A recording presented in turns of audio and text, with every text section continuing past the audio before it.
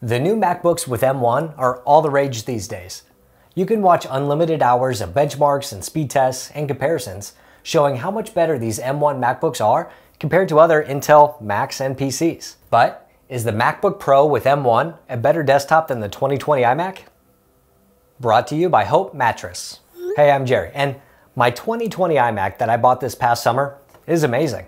It has that bright 5K display, a sleek all-in-one design, and I can leave a bunch of things plugged into it all the time.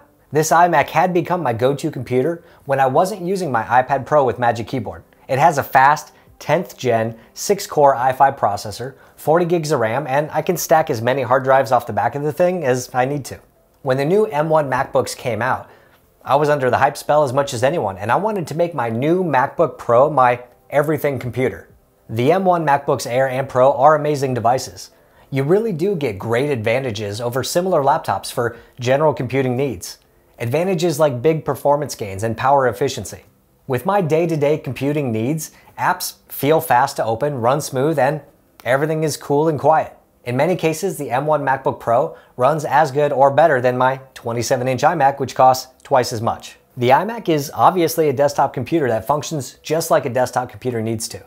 The MacBook Pro M1 can absolutely become a desktop computer as well. Performance-wise, the M1 is right up there with this i5 iMac and even beats it in some tests. If you look at CPU tests with Geekbench, the M1 Pro beats the 2020 iMac in both single and multi-core CPU tests. The new SSDs in the M1 laptops are also really fast too.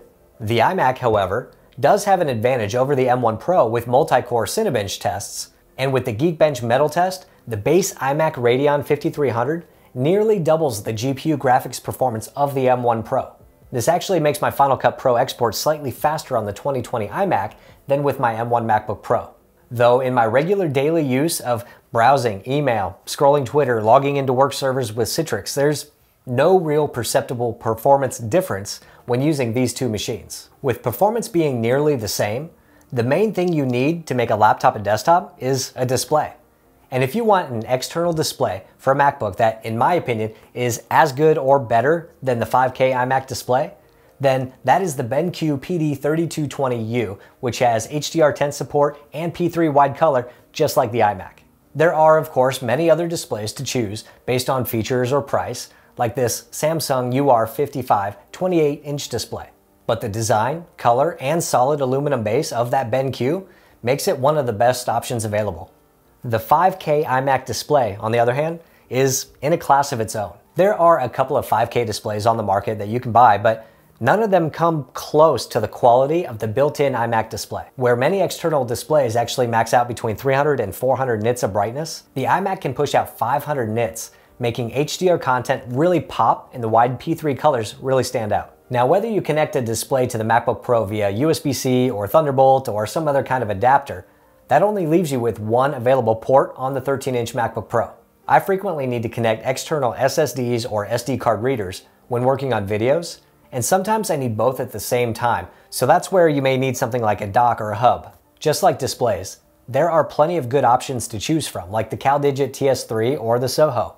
These will give you additional USB-A and USB-C ports, and depending on the dock, additional display connections or Ethernet. The iMac, though, has more ports on the back, including four USB-A ports, two USB-C Thunderbolt ports, Ethernet, SD card, and headphone out. The ports on the iMac are not in the best location tucked you know, behind the display, but they are there, allowing for multiple connections of peripherals and hard drives without the need for additional docks. But you can also relocate some of the ports to the front with something like the Satechi Clamp Hub Pro, which gives you front access to SD cards, three USB-A ports, and a USB-C port. The last main thing I think you need for a good desktop configuration is a decent pair of speakers. The iMac, of course, has a pair of built-in speakers that sound really good, especially with the 2020 iMac, which added the T2 chip for variable EQ and enhanced bass response. They are loud and clear, and what more could you want? As decent as the built-in speakers are on the 13-inch MacBook Pro for a laptop, they are not great for desktop use where you generally want a louder, more clear sound. Or at least I do, and when I'm trying to edit audio or watch a video, sometimes I just want to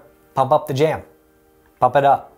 So, grabbing an external pair of speakers is a must for me to be able to use the MacBook Pro as a desktop. Again, with speakers, there's a wide range of prices and features, But for me, I like the Kanto Yu2 speakers. They have an audio DAC for digital processing, and I can get them in a MacBook matching space gray color.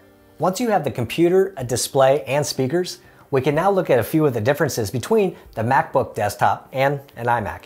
With the MacBook Pro, you actually get a few bonus features compared to the iMac.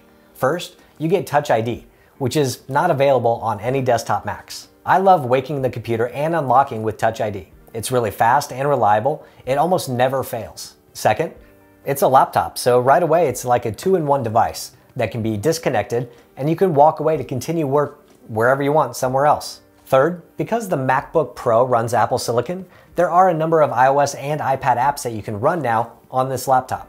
I've also found a few downsides since I moved to this setup with the MacBook Pro M1. First, the MacBooks and Big Sur seem to have a lot of issues with external displays. I've tried multiple displays and multiple configurations and ran into issues with most of them. Either the external screen doesn't turn on or it comes up distorted from sleep or some other random things with refresh rate or resolution.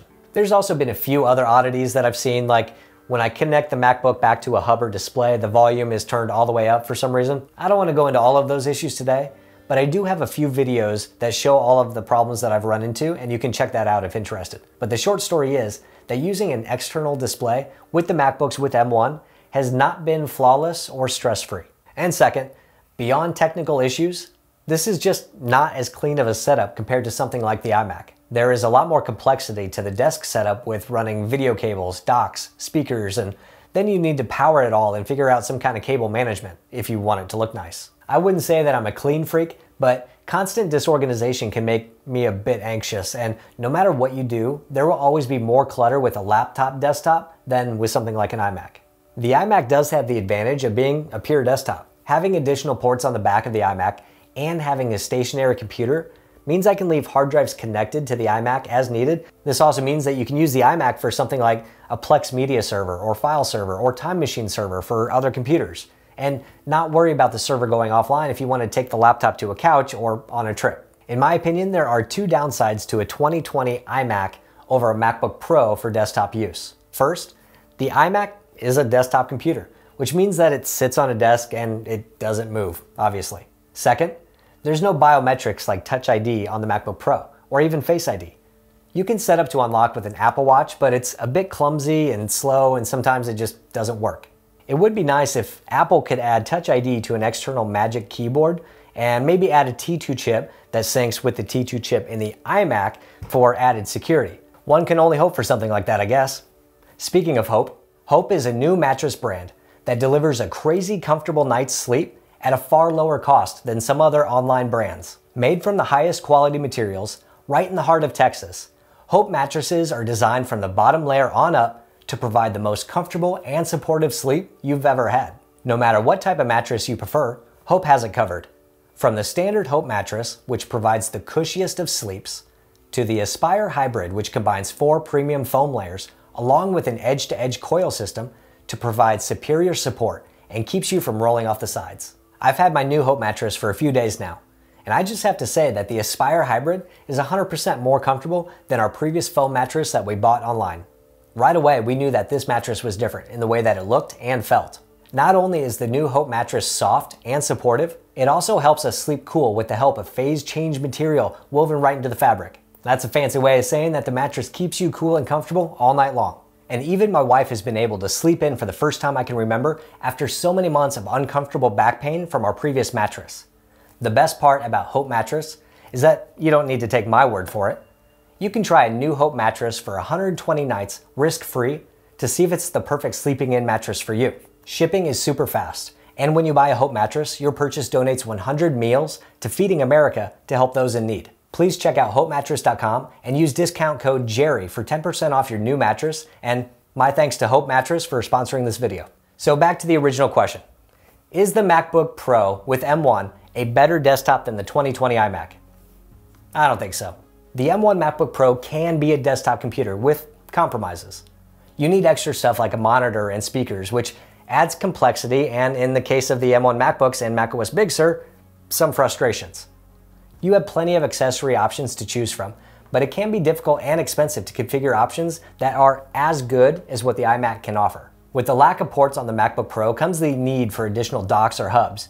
But you do also get the option to pick it up and just go mobile. The iMac is the perfect desktop computer in my opinion. It has everything you need built right into a neat, compact, attractive enclosure. The built-in display can't be beat by any comparable external option at a reasonable price. It has enough ports to do everything I need it to do, and it can serve different roles like an always-on available backup server or media server. I think it's time that I move back to the iMac for my desktop use, and maybe I'll start using the MacBook Pro M1 for my couch and mobile device. What do you think? Have you turned your laptop into a desktop, or do you prefer separate devices? This will be the first time that I have two primary computers, so if you have any suggestions about how to make workflows better between these two computers or how to keep stuff in sync, let me know below. If you want to hear more about the many display issues I've had using the M1 MacBooks, you should check out this video right over here. Hit the thumbs up button if you liked it, hit subscribe if you want, and I'll see you next time.